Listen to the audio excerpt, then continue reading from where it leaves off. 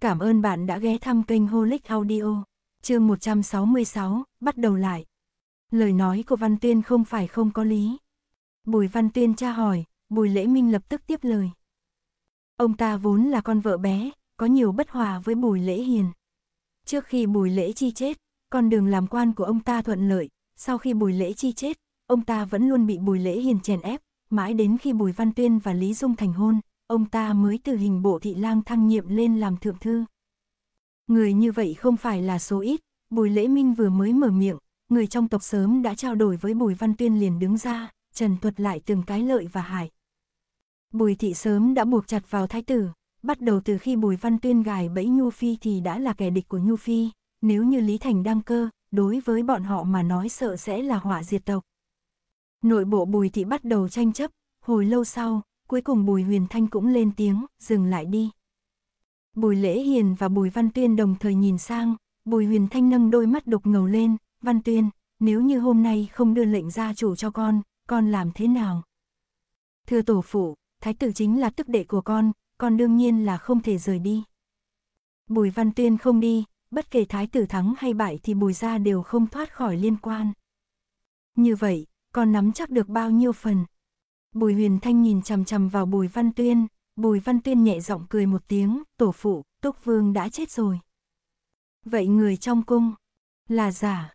Giọng nói của bùi văn tuyên rất nhẹ, chuyện này không chỉ có một mình tôn nhi biết, bọn họ không giấu được bao lâu, tổ phụ cảm thấy, yêu phi làm lẫn lộn huyết mạch hoàng thất thì thái tử có bao nhiêu phần trăm chắc chắn. Bùi huyền thanh im lặng, rất lâu sau, ông cười lên, năm đó, phụ thân con cũng như thế này. Nói xong, ông quay đầu nhìn về phía đám người, mọi người chọn thế nào. Chúng ta cho rằng, Văn Tuyên rất có lý. Một đám người cùng mở miệng, một ít lời nói cho Bùi Lễ Hiền xen ở giữa đều bị lấp đi. Bùi Huyền Thanh gật đầu rồi quay đầu nhìn về phía Bùi Lễ Hiền, đưa lệnh gia chủ, chìa khóa khố phòng cho hắn. Phụ thân, Bùi Lễ Hiền hoảng loạn, một đứa trẻ như hắn. Con không phải là trẻ con nữa. Giọng nói Bùi Huyền Thanh trở nên nặng hơn, đây không phải là quyết định của hắn, là quyết định của ta, đưa lệnh gia chủ cho hắn. Bùi lễ hiền mím chặt môi, bùi huyền thanh thấy bùi lễ hiền không vâng lời thì bỗng nhiên vỗ một cái lên bàn, hét lớn lên, đưa hắn. Bùi lễ hiền không nói lời nào, bầu không khí lập tức trở nên căng thẳng, bùi huyền thanh nhíu mày, lão nhị. Phụ thân, ta không thể nhìn hắn đi vào vết xe đổ của phụ thân hắn được, bùi thị không thể tham gia vào việc này, bây giờ nên lập tức bắt lấy Bùi Văn Tuyên rồi đưa vào trong cung. Người đâu? Bùi lễ hiền hét lớn một tiếng, một đám thị vệ cầm đao phá cửa đi vào, bỗng nhiên xông tới vây quanh toàn bộ từ đường. Sắc mặt bùi lễ minh lạnh đi, bùi lễ hiền, động đao trong từ đường, ngươi làm gì vậy? Chừng chỉ con cháu bất hiếu mà thôi. Bùi Văn Tuyên, ngươi phạm thượng làm loạn, ý đồ mưu phản, hôm nay ta vì việc nước quên tình nhà, hành quyết ngươi tại chỗ đưa vào trong cung, nhìn xem bệ hạ phán xét như thế nào. Hôm nay không ai được nhúc nhích. Bùi lễ hiền nâng tay phất một cái, khuôn mặt lộ vẻ lạnh lùng, nếu không sẽ tính là đồng đảng, luận tội mưu phản. Người ở đây nghe nói như thế thì sắc mặt đều cực kỳ khó coi, Bùi Văn Tuyên lại cười tìm một vị trí trong từ đường, thong dong ngồi xuống, đồng nghiệp pha trà cho hắn, hắn hướng về phía Bùi Huyền Thanh mỉm cười, tổ phụ, nhị thúc động đao trước từ đường, Văn Tuyên có thể giải quyết nỗi lo thay tổ phụ không? Bùi huyền thanh nghe thấy thì hơi do dự, sau đó gật đầu. Bùi lễ hiền cười lạnh thành tiếng, châu chấu sau mùa thu, giả vờ bình tĩnh cái gì. Người đâu, bắt lấy hắn. Bùi văn tuyên cười không nói, hắn thong dong bưng trà, thị vệ trong sân vung đao vọt về phía bùi văn tuyên, cũng chính vào khoảnh khắc này, mũi tên từ bốn phương tám hướng rơi xuống như mưa, trong nháy mắt trực tiếp bắn chết thị vệ sông sáo phía trước trong từ đường. Máu của thị vệ gần Bùi Lễ Hiền nhất trực tiếp bắn tung tóe lên mặt ông ta, làm cho Bùi Lễ Hiền nhắm mắt lại. Sau đó liền nghe thấy tiếng kêu giết ngoài cửa vang lên, tất cả mọi người ở trước từ đường, sắc mặt tái nhợt, không dám nói lời nào. Chỉ có Bùi Văn Tuyên khoan thai ngồi tại chỗ ngồi, người mùi hương thưởng thức trà, cuối cùng, hắn ngẩng đầu nhìn về phía Bùi Lễ Hiền, nhị thúc ngồi chờ đi, chờ một lát nữa đến suối vàng vẫn còn một đoàn đường rất dài phải đi. Nói xong, Bùi Văn Tuyên nâng nắp chén trà lên, khẽ cười, đừng để mệt mỏi. Sắc mặt Bùi Lễ Hiền tái nhợt, ông ta không nói gì, chờ hồi lâu, ngoài sân cuối cùng cũng yên tĩnh trở lại. Triệu trùng cửu cất bước đi vào, quỳ gối trước mặt Bùi Văn Tuyên, đại nhân, tội thần đều đã đền tội, tất cả là 142 người, mời đại nhân kiểm kê. Bùi Văn Tuyên gật đầu, nhìn thoáng qua đồng nghiệp bên cạnh, đồng nghiệp bưng rượu đã sớm được chuẩn bị đưa đến trước mặt Bùi Lễ Hiền, cung kính nói, nhị ra, mời. Bùi Lễ Hiền nhìn chén rượu độc trước mặt, Bùi Văn Tuyên mỉm cười, nhị thúc, chén rượu này là tâm ý của Văn Tuyên, không uống cũng đã rót, tự mình uống thì cũng có mặt mũi một chút. Bàn tay Bùi Lễ Hiền khẽ run, ông ta còn chưa lên tiếng, trong đám người đã truyền đến vài tiếng kêu sợ hãi, mấy con cháu Bùi Thị trước kia vẫn luôn đi theo ông ta đều bị kéo ra, giơ tay chém xuống, máu bắn tung tóe đầy đất.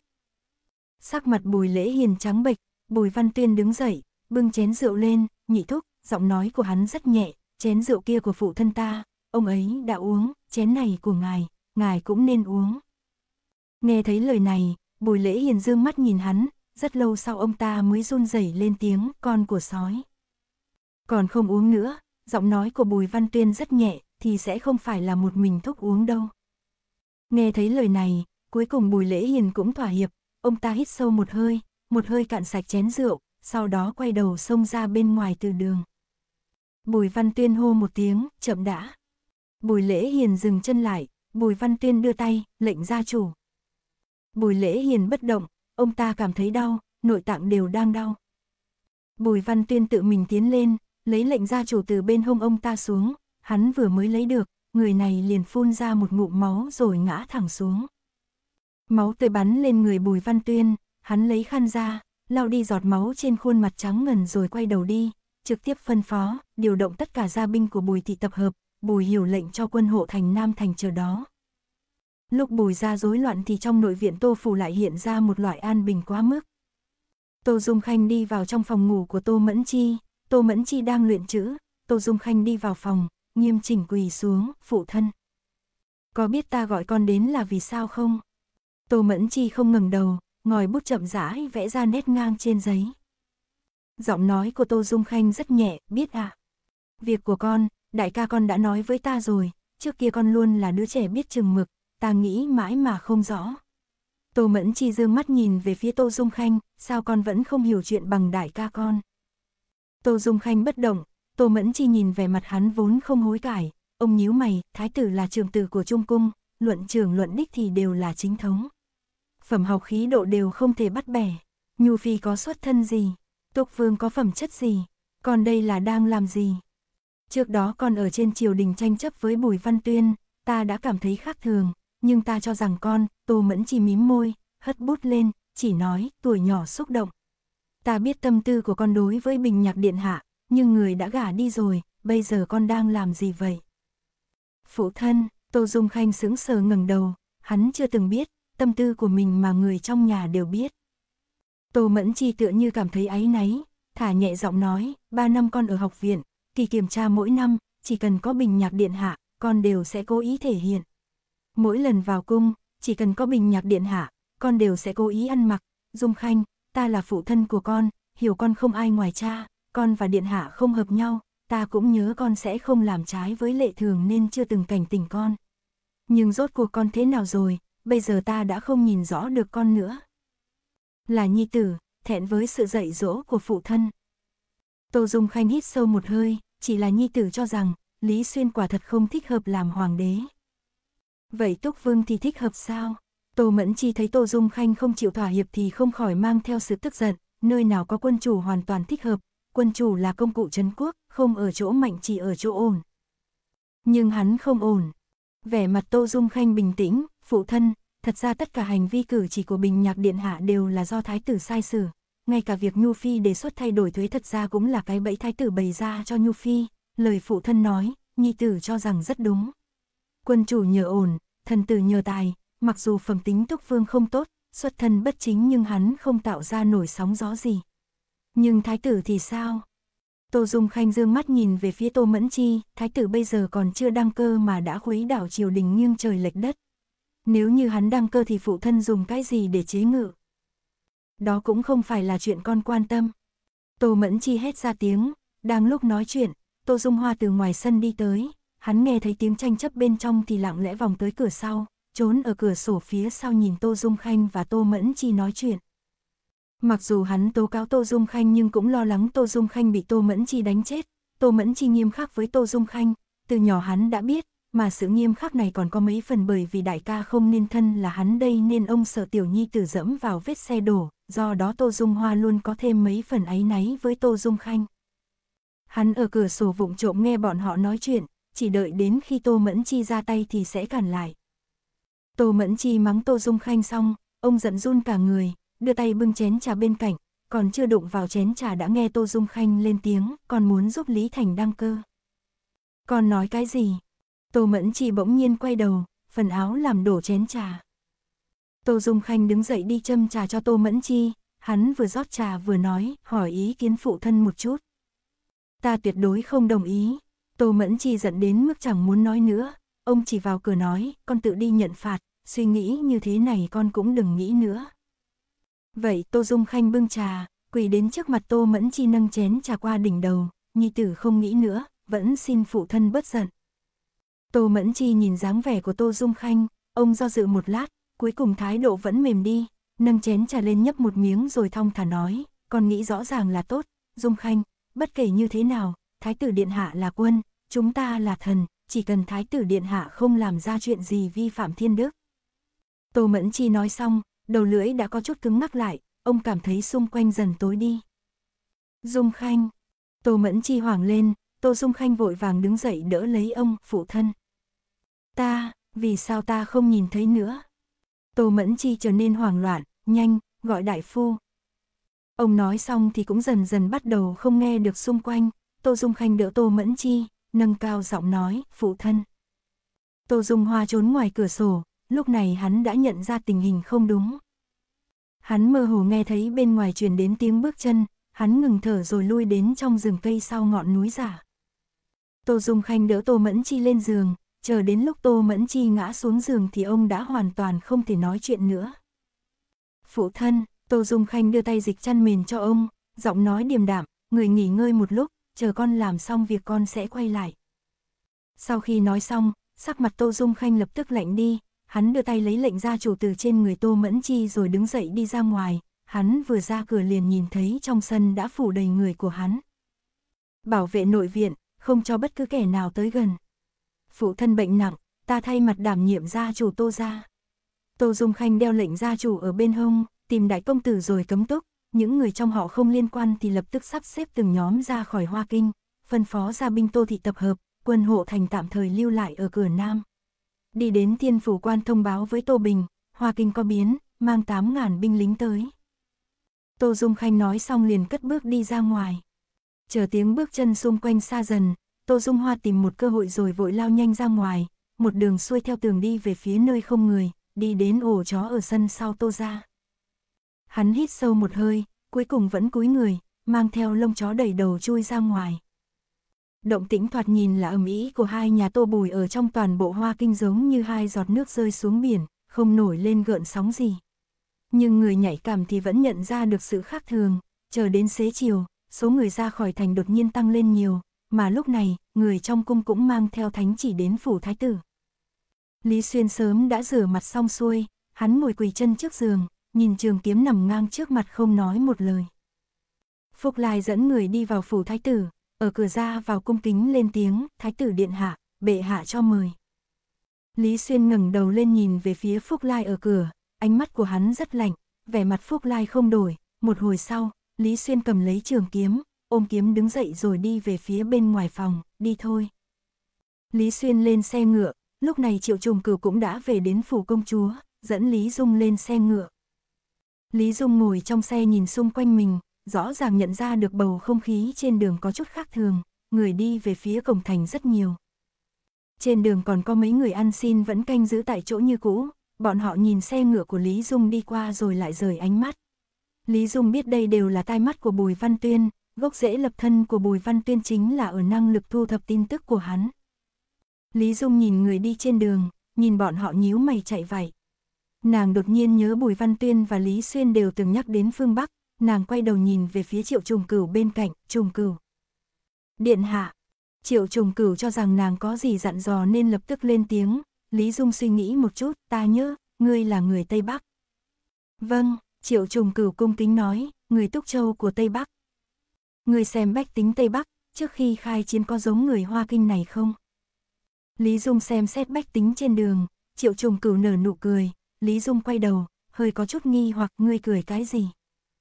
Điện hạ, triệu trùng cửu cúi đầu, quân đội ở phương Bắc Thiên về tập kích và kỵ binh, trước khi khai chiến thì bách tính sẽ không biết. Đều là đột nhiên công thành vào lúc đêm, hoặc là không tấn công nổi mọi người đều chạy mất, hoặc là sẽ đánh hạ được, hoàn toàn không kịp nghĩ quá nhiều. Triệu trùng cửu vén màn lên, nhìn người đi đường đi về phía cổng thành, những người này đều là bách tính cảnh giác nhận được tin tức vì động thái khác thường của quân hộ thành. Triệu trùng cửu quan sát bọn họ, ngài xem bọn họ đi, vẫn còn được mật báo.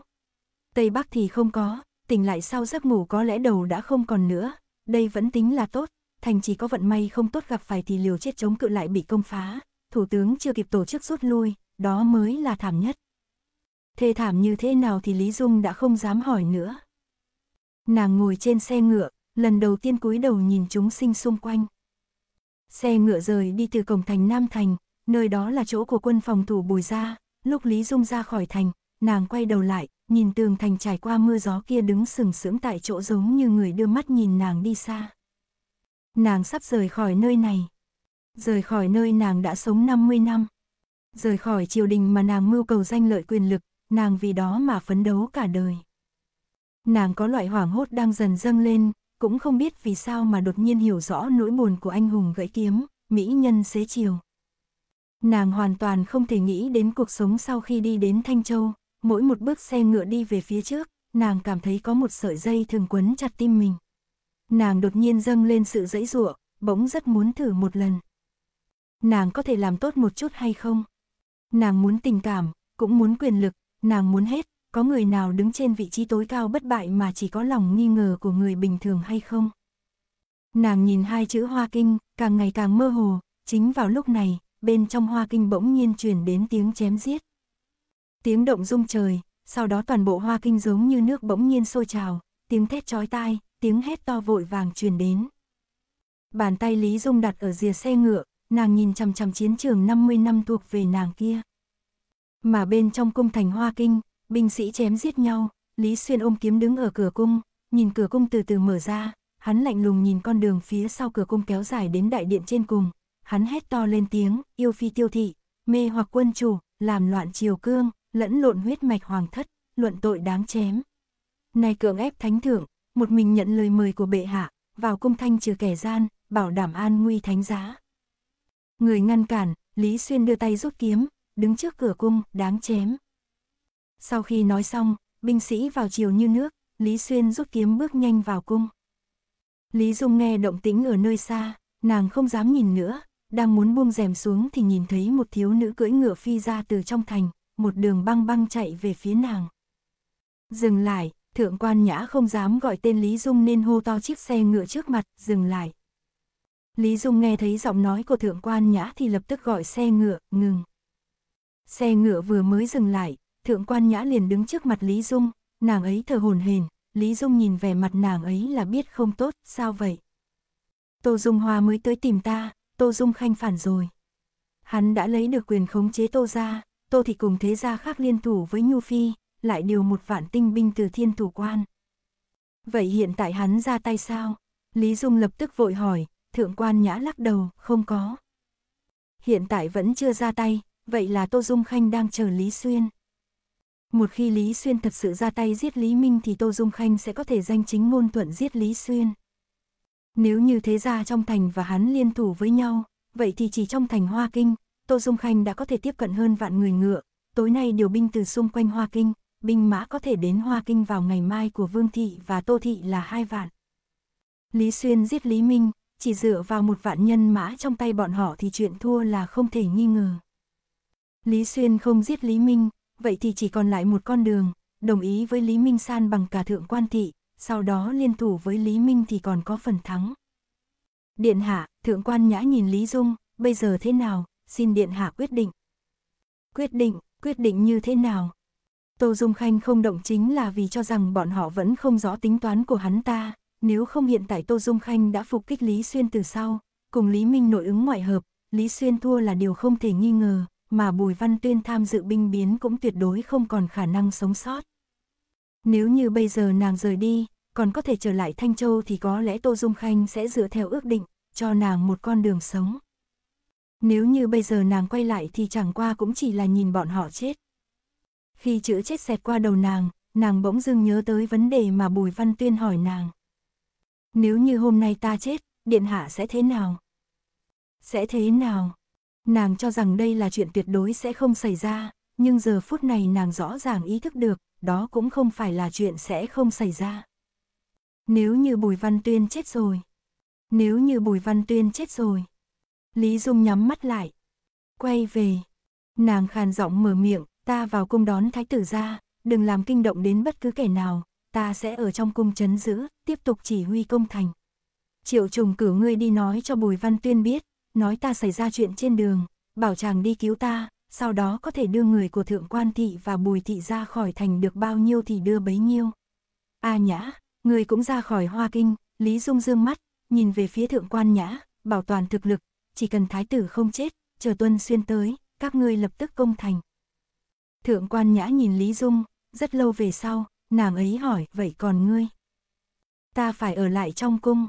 Lý Dung nhìn nàng ấy, không có người chỉ huy, chẳng mấy chốc Tô Dung Khanh sẽ phát hiện Xuyên Nhi rời đi, hơn nữa ta ở đó, cho dù bị phát hiện thì cũng có thể ngăn cản Tô Dung Khanh một khoảng thời gian.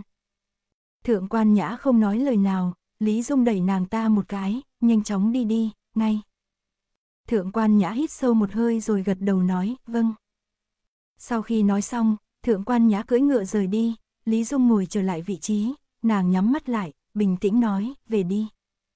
Bọn họ đi ra ngoài không xa, xe ngựa mang theo Lý Dung vào thành. Lúc đi ra, nàng mờ mịt luống cuống. Nhưng giờ phút này xe ngựa chạy về Hoa Kinh, mang theo nàng lao tới chiến trường, nàng lại có một cảm giác bình tĩnh lạ thường.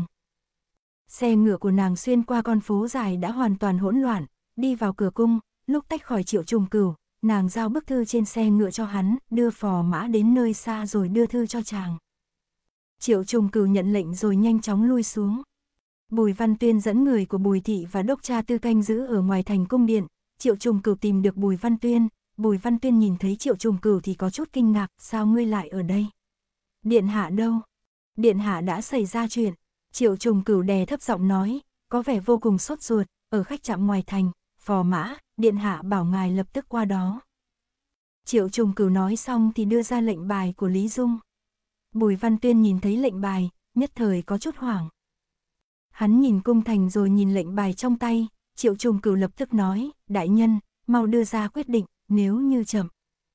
Bùi Minh, Bùi Văn Tuyên gọi Bùi Minh, Bùi Minh tiến lên, đại công tử.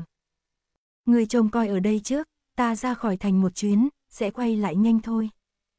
Bùi Văn Tuyên nói xong, kiểm kê một nhóm cao thủ đứng đó rồi dẫn người theo triệu trùng cửu ra khỏi thành. Bùi Văn Tuyên đuổi gấp ra ngoài thành, Lý Dung khoác áo lông cáo, ôm lò sưởi, từng bước một đi về phía trong cung. Mà trong tầm cung, Lý Minh nằm trên giường nhỏ, nhìn Lý Xuyên ôm kiếm đứng trước mặt ông ta. Chấm vốn muốn cho ngươi lựa chọn, nét mặt Lý Minh có chút suy yếu, không ngờ ngay cả lựa chọn ngươi cũng không muốn, trực tiếp cho chấm kết quả. Lý Xuyên, ngươi có biết giết chấm thì trên sử sách thì ngươi phải cõng bêu danh gì không? Ta không quan trọng bêu danh hay không bêu danh. Vẻ mặt Lý Xuyên rất lạnh lùng, Lý Minh trào phúng ra tiếng, bêu danh còn không sợ, xem ra ngươi quả nhiên là cầu tạp trùng của người bất trung bất nghĩa. Người muốn ngôi vị hoàng đế này đến điên rồi nhỉ? Ồ, không đúng, Lý Minh như đột nhiên nghĩ tới cái gì đó, không phải là con muốn đến điên, là mẫu hậu ngươi, tỷ tỷ ngươi và thượng quan gia mới đúng. Lý Minh nâng tay tán thưởng, giống như là đã đoán đúng chuyện gì đó, ông ta nâng ngón tay chỉ vào hắn, bọn chúng muốn đến điên rồi. Phụ hoàng, Lý Xuyên nghe lời nói của Lý Minh, tựa như có chút khổ sở ta không rõ. Không rõ cái gì? Vì sao ngài lại không thể chấp nhận ta chứ? Đã là lúc nào rồi? Lý Minh giống như thấy buồn cười, ngươi lại còn hỏi chấm vấn đề này. Xuyên Nhi, Lý Minh thở dài, ai dạy cho ngươi lời nói ngây thơ như vậy? Không phải chấm không chấp nhận ngươi, ngươi là con của chấm, chấm một tay ôm ngươi đến lớn, người chấm không chấp nhận là mẫu thân của ngươi. Khi hai người nói chuyện, thượng quan Nguyệt đẩy cửa nước vào. Lý Minh Dương mắt nhìn thấy nữ nhân đi vào phòng, lời nói của ông ta không dừng lại, nói cho thượng quan Nguyệt nghe, thượng quan thị bọn chúng, mưu cầu vô độ, chúng xem Lý Thị ta là con dối, mưa đồ dùng hôn nhân để cùng cai quản thiên hạ với Lý Thị ta. Trong lòng chúng không có tình cảm, ngươi cho rằng mẫu thân ngươi yêu ngươi sao? Thượng quan thị có xem ngươi là người thân không? Không, Lý Xuyên à, Lý Minh cười rộ lên, ngươi chính là một quân cờ của thượng quan thị. Một công cụ chúng dùng để thống trị đại hạ. Thượng quan Nguyệt nghe lời nói của Lý Minh, từng bước một đi đến phía sau Lý Xuyên. Vẻ mặt bà rất bình tĩnh, bà nhìn nam nhân ở trên trường. Ông ta già rồi. Hơi thở mục nát luẩn quẩn xung quanh người ông ta, hoàn toàn không nhìn ra được một chút dáng vẻ thiếu niên lang ngày xưa cùng bà chơi diều, sửa tháp Bắc Yến. Bà thương hại nhìn ông ta, ánh mắt như vậy đã chọc giận Lý Minh, ông ta hét lớn ra tiếng, ngươi nhìn cái gì? Nhìn ngươi lần cuối cùng, Lý Minh, giọng điệu của Thượng Quan Nguyệt rất bình tĩnh, ngươi già rồi. Thượng Quan Nguyệt nói xong thì đảo mắt nhìn về phía Lý Xuyên, còn chờ cái gì, ra tay đi. Lý Xuyên ôm kiếm không nhúc nhích, Thượng Quan Nguyệt nhíu mày, Lý Xuyên. Bên ngoài có bao nhiêu người chờ con, con đang cơ trễ một khắc thì sẽ sinh biến, nhanh. Lý Xuyên cúi đầu, Thương Quan Nguyệt lấy gối mềm từ bên cạnh, đưa tới tay Lý Xuyên, mau, không thể dùng đao kiếm, quá rõ ràng, cho ông ta ngạt chết. Lý Xuyên ngẩng đầu, nhìn Thượng Quan Nguyệt trước mặt, mẫu hậu. Thượng Quan Nguyệt, hắn là con của ta. Lý Xuyên nhìn thấy sự rằng co của Lý Xuyên và Thượng Quan Nguyệt thì bắt đầu vui vẻ, ngươi cho rằng giết cha đơn giản như vậy sao? Ta chưa từng tốt với hắn sao? Ta từng ôm hắn, ta dạy viết chữ, hắn đói bụng, nửa đêm ta dẫn hắn đến chủ phòng ăn tiểu táo sao? Người phạt hắn viết chữ, ta giúp hắn chép. Sao tiểu táo là tiêu chuẩn ăn tập thể cao nhất, phân biệt với trung táo và đại táo? Lý Minh nói ra chuyện xưa lúc nhỏ của Lý Xuyên. Khi đó mâu thuẫn của ông ta và Thượng quan Thị vẫn chưa gay gắt như vậy, ông ta và Thượng quan Nguyệt vẫn là phu thê ân ái, tháp Bắc Yến vẫn chưa sửa xong, ông ta vẫn là một đứa trẻ to xác, lôi kéo Lý Xuyên, để Lý Dung ngồi trên vai vui đùa. Ông ta vốn muốn nói để ca một trên thích thượng quan Nguyệt và Lý Xuyên nhưng nói xong, giọng của ông ta đã khàn đi. Tẩm cung nhất thời yên tĩnh không tiếng động, thượng quan Nguyệt đỏ mắt, con không ra tay có phải không? Nói xong, thượng quan Nguyệt chợt rút kiếm, ta làm. Mẫu hậu. Lý Xuyên thấy thượng quan Nguyệt rút kiếm chạy đi thì ôm lấy thượng quan Nguyệt, từ từ. Chờ một chút. Chờ cái gì? Thượng quan Nguyệt quay đầu lại cho một bạt tai vào mặt Lý Xuyên, con không quyết đoán như vậy, làm sao làm thái tử, làm sao trở thành đế vương. Giết ông ta đi. Thượng quan Nguyệt đặt kiếm vào tay Lý Xuyên, giết ông ta. Bình thường ông ta đối xử với con như thế nào con quên rồi sao? Ông ta tốt với Lý Thành như vậy, đối với con chỉ có một chút xíu tốt như vậy thôi mà con không muốn giết ông ta nữa sao? Thượng quan Nguyệt nói xong thì kéo Lý Xuyên tiến lên.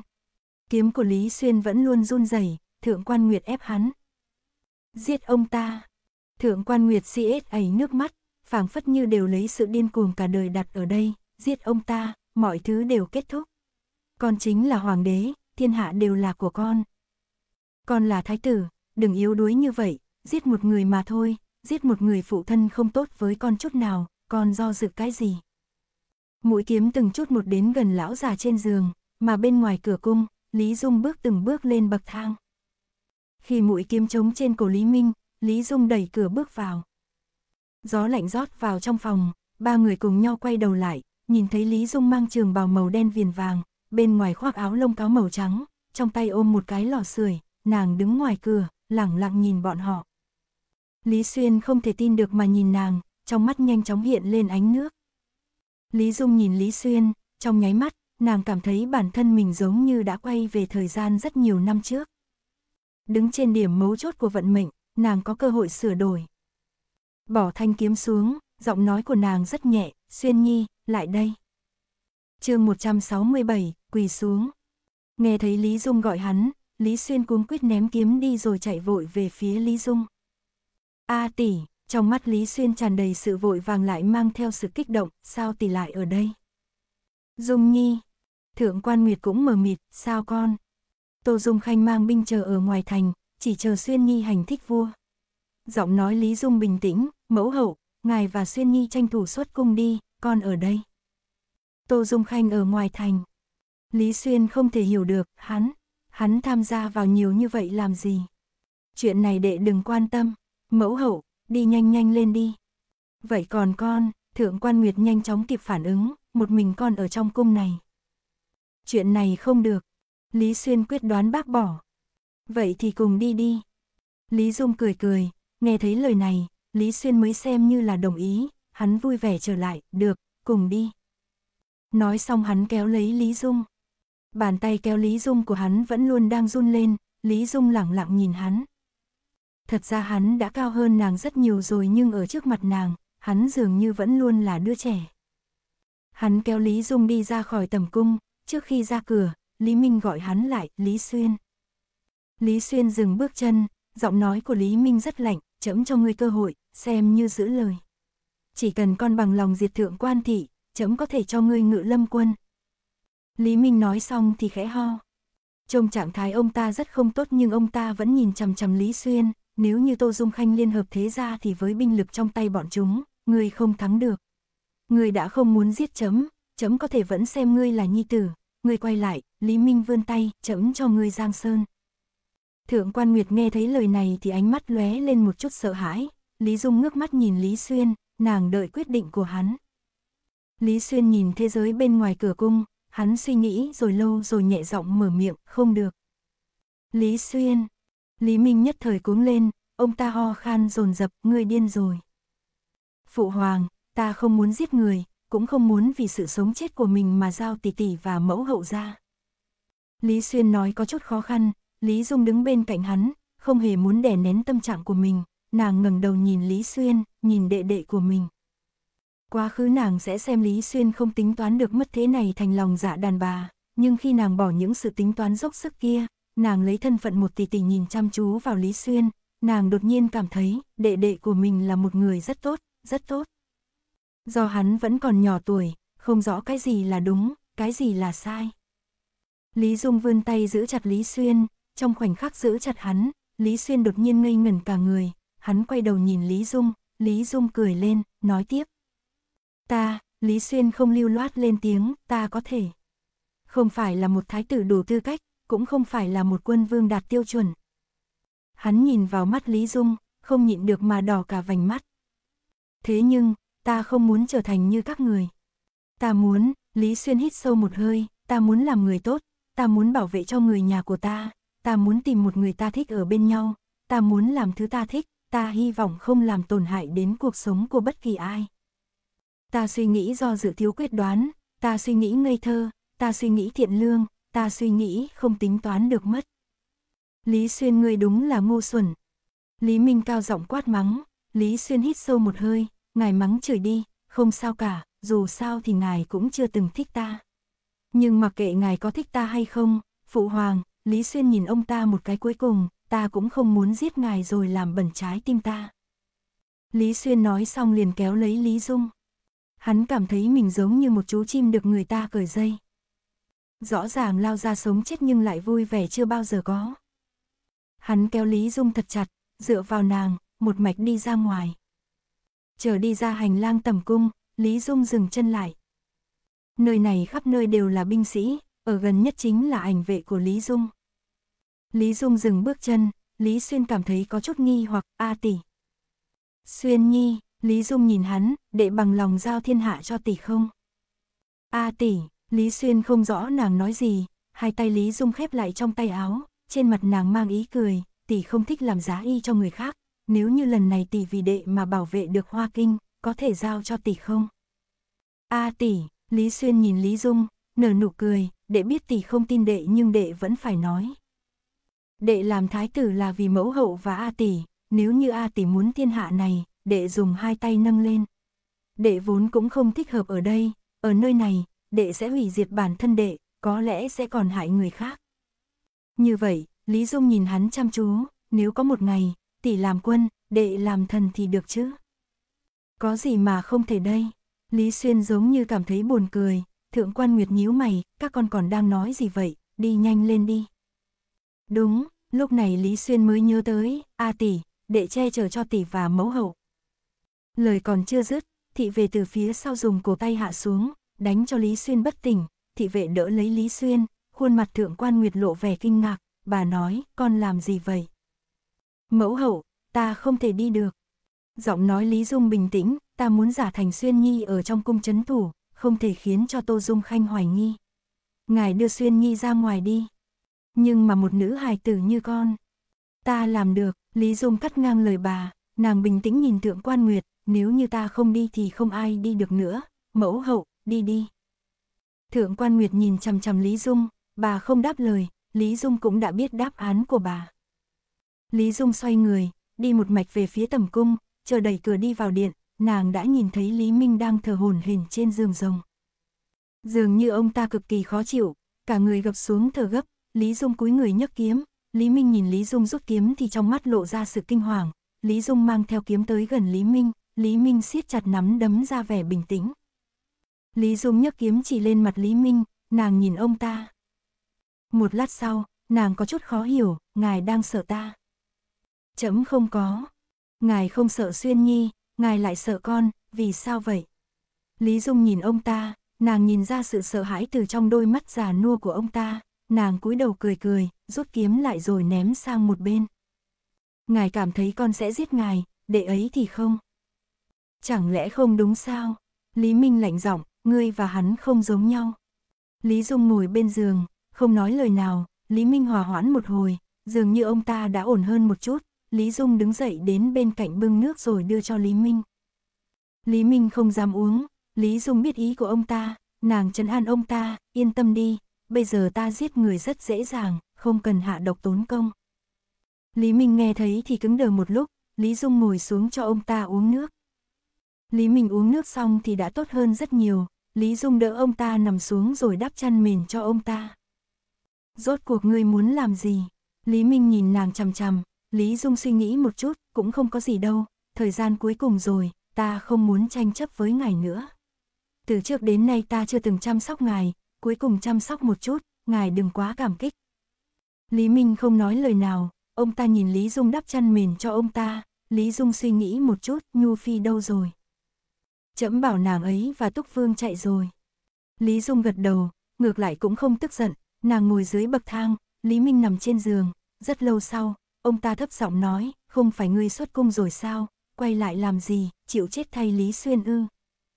Cũng không tính là chịu chết đâu, ta vẫn rất thông minh, ta ở đây thì cơ hội sống lớn hơn đệ ấy. Ngươi không giết chấm là vì sở Tô Dung Khanh lấy lý do hành thích vua để hại ngươi sao? Tấn công Hoàng Thành và hành thích vua khác nhau lắm sao? Lý Dung cảm thấy vào giờ phút này Lý Minh có chút tẻ nhạt, nàng dựa vào giường, một lát sau, nàng lan man nói chuyện phiếm, thật ra ta không rõ, đến cùng là ngài đang tranh cái gì.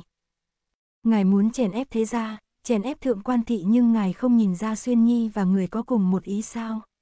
Liều mạng phế đi đệ ấy thì có ý nghĩa gì? Hơn nữa, Lý Thành hiện tại trong tay Nhu Phi kia chính là giả, truyền hoàng vị cho một tên hàng giả, ngài cũng vui vẻ hả?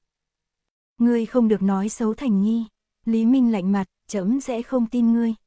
Ta cũng biết ngài sẽ không tin, nếu như ta chết đi, lần này ngài ra ngoài thì tự mình nghiệm xét đi. Lý Dung nói xong, cảm thấy mặt đất có chút lạnh, nàng đứng dậy tìm cái ghế chuyển tới rồi ngồi bên cạnh Lý Minh.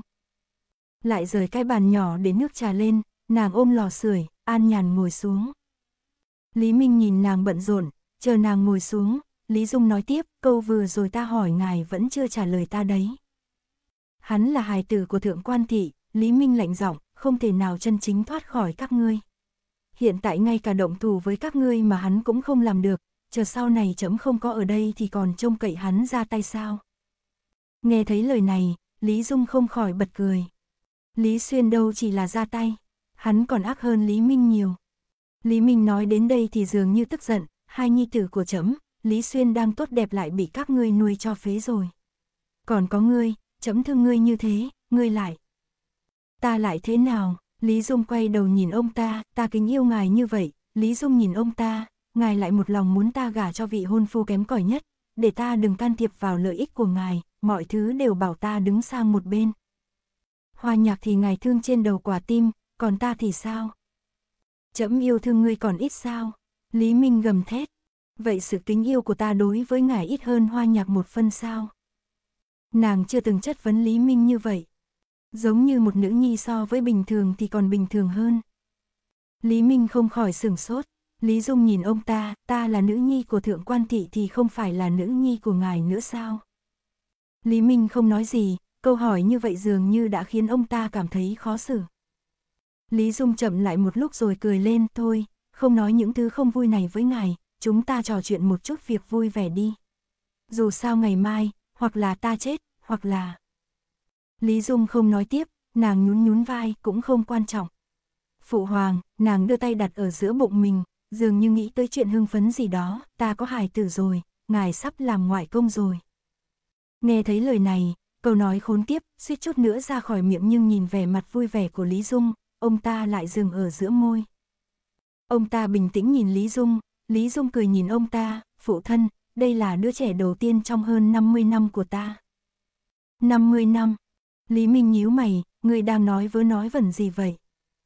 Lý Dung cười cười, ta cho ngài biết một bí mật, thật ra, ta đã sống qua hai đời.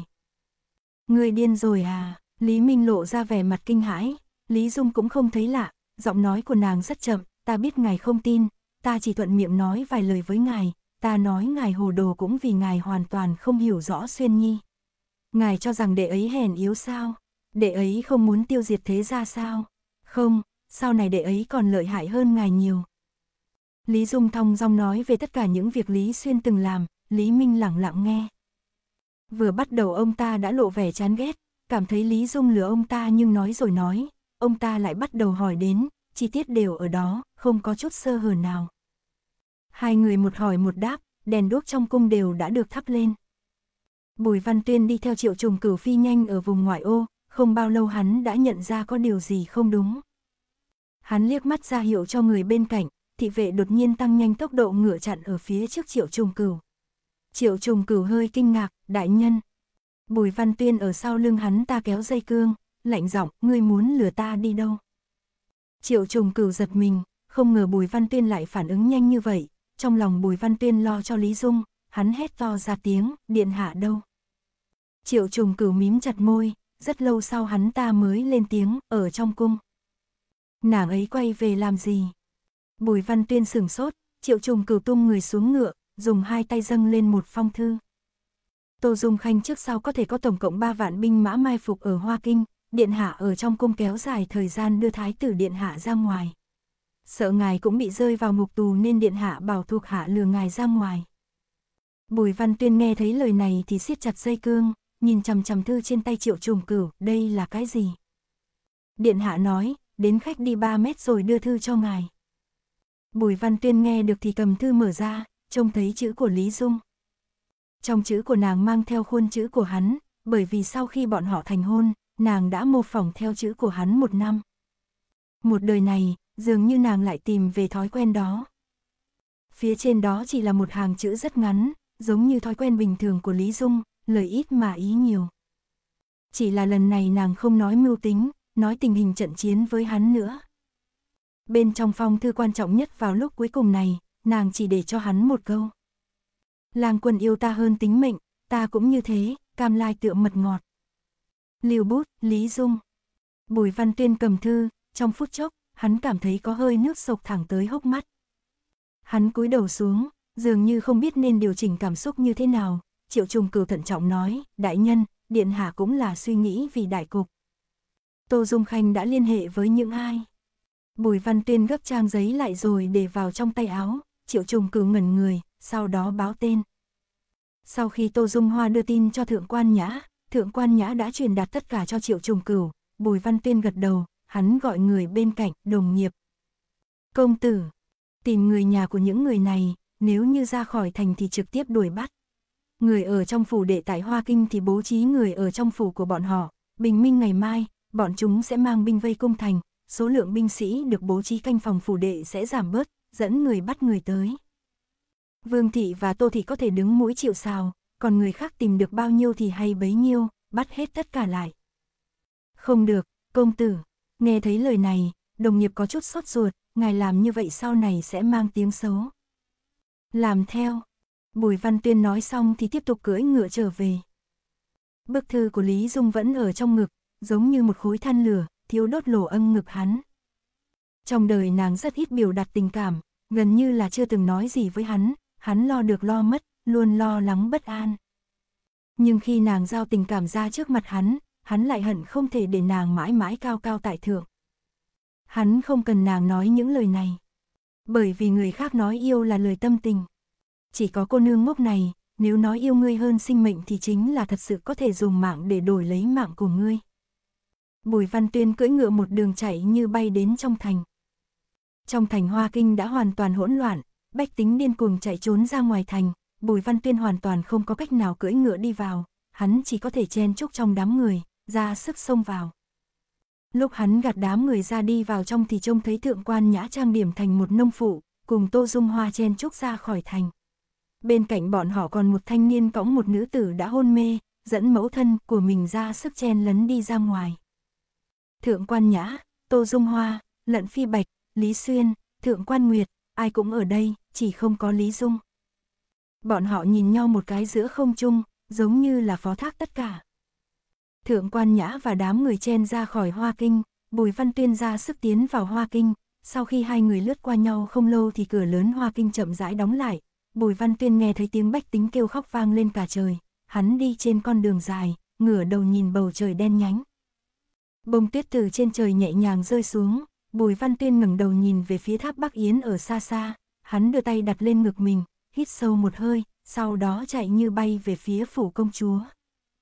Mà sau khi chen ra khỏi thành, Tô Dung Hoa lập tức kiểm tra bụi đất trên mặt rồi vội nói, ta đi cản đường huynh của ta thông báo tình huống, nàng đừng lo lắng, cũng đừng thể hiện. Ta biết, thượng quan nhã gật đầu, làm phiền rồi. Tô Dung Hoa đáp một tiếng, hắn vốn còn muốn nói gì đó thì đã nhìn thấy lận phi bạch đứng phía sau thượng quan nhã. Hắn nhất thời dừng lại, một lát sau, hắn cười cười giơ tay lên nói, bảo trọng. Sau khi nói xong, cũng không đợi thượng quan nhã đáp lại, hắn vội vàng xoay người, chở mình lên ngựa rồi rời đi. Thượng quan nhã nhìn Tô Dung Hoa đi xa, lận phi bạch đi đến phía sau nàng. Không nỡ à? Hửm. Thượng quan nhã nghe vậy thì quay đầu, vội nói, thu xếp cho thái tử trước đã, cho người liên hệ với Tuân Xuyên, xem Tuân Xuyên đến đâu rồi. Kiểm kê binh lực phía ngoài, ta không thể ở bên cạnh điện hạ, thượng quan nhã tỉnh táo mở miệng, nhưng ta phải cứu nàng ấy. Lúc Hoa Kinh hỗn loạn thành một nồi cám, Lý Dung và Lý Minh lại thành thơi trò chuyện. Người hầu thỉnh thoảng gõ cửa báo cáo tình hình với Lý Dung, Lý Dung liền điều động quân đội. Nàng điều hết tất cả quân thủ thành có thể dùng vào cung, Lý Minh nghe hành động của nàng thì cũng hiểu rõ ý của nàng, xem ra ngươi định quyết một trận tử chiến trong cung. Cũng không phải. Lý Dung cười cười, nếu như nhất định sẽ thua thì đầu hàng là được rồi. Nữ nhân, không có khí phách. Lý Minh diễu cợt, Lý Dung không thèm để ý, vừa rồi chúng ta nói đến đâu rồi nhỉ?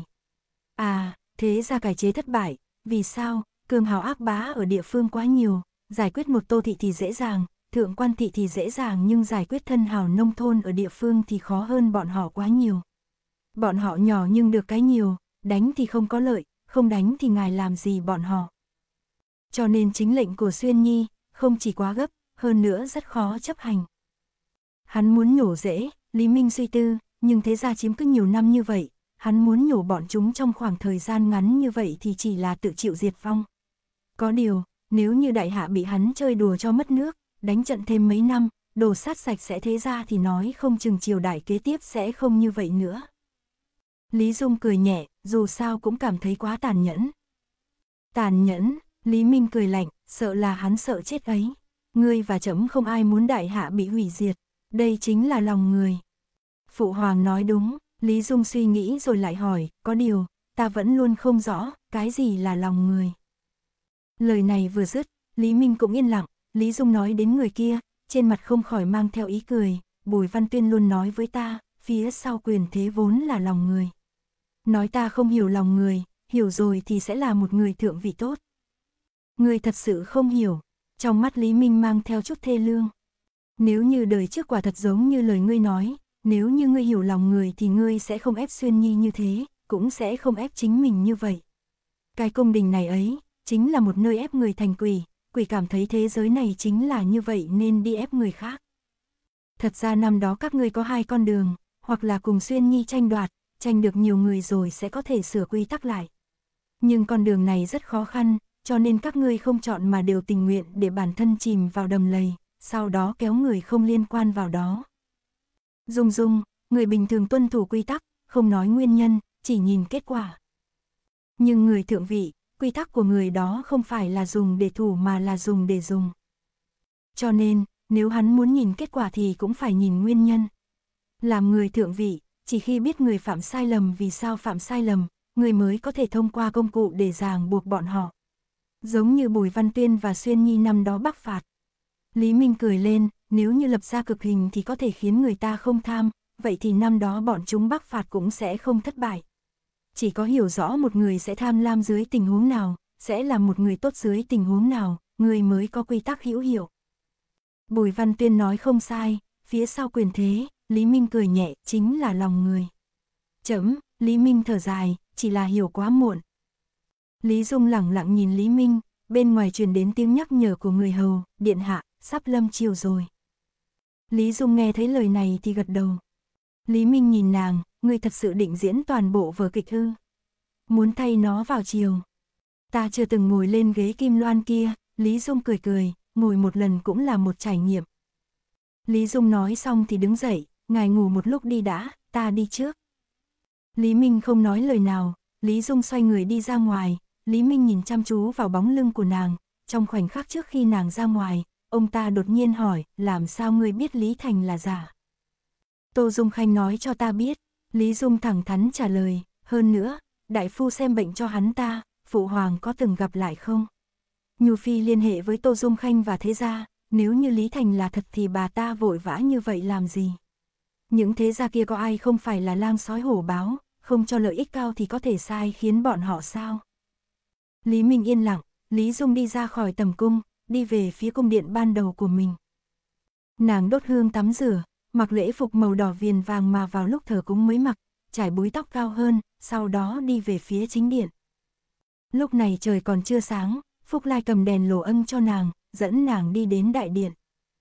Đại điện trống rỗng, Lý Dung chưa từng thấy nó trống trải đến thế, nàng ngửa đầu nhìn chỗ ngồi cao ở phía trước, Phúc Lai cung kính dâng lên một thánh chỉ cho nàng, điện hạ, đây là vừa rồi bệ hạ viết, giao cho ngài. Lý Dung quay đầu lại, nàng nhìn thánh chỉ trước mặt, cầm qua mở xem nội dung trên đó. Năm chữ trưởng công chúa giám quốc, rơi vào trong mắt nàng, nàng bình tĩnh nhìn nội dung trên đó, một lúc sau, nàng cúi đầu cười một tiếng, ngài ấy làm gì vậy?